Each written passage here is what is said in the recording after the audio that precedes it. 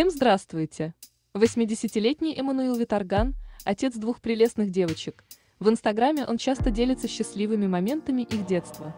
Но последнее видео, которое актер выложил на своей странице, глубоко возмутило многих его подписчиков.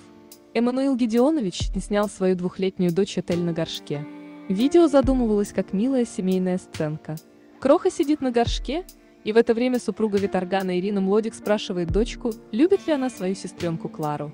Тщательно подумав, Этель мотает головой и отвечает «нет». «Извините, но вот так ответила», подписал видео Эммануил Гедеонович. Многие поклонники возмутились, что родители сняли дочку в столь интимный момент. Зачем такое показывать? Этель вырастет, и ей будет стыдно. Видео очень личное, не стоило его выставлять на всеобщее обозрение. Пишут они в комментариях. Впрочем, у звездных супругов нашлось и немало защитников.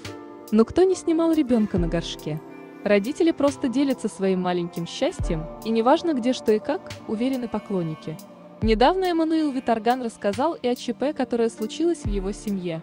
Ирина Млодик вместе с дочками качалась на качелях, которые не выдержали тройной нагрузки и оборвались. Естественно, все сначала перепугались, и Виторган, и его жена, и девочки.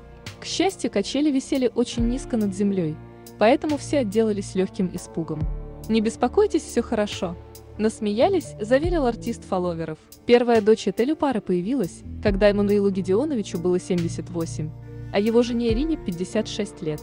При этом супруга артиста уверяла, что выносила и родила ребенка сама.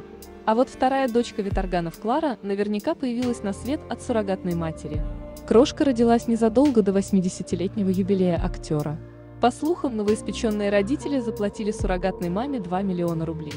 К слову, почти такую же сумму 1,8 миллиона рублей Эммануил Виторган получил за первое телеинтервью, которое он дал после рождения Этель. Актер рассказал о дочке в программе Андрея Малахова. «Нет слов, как мне хотелось этих детей», признавался артист в телеэфире уже после рождения второй дочки. «Скрывать их рождение не входило в мои планы. Все равно бы все узнали».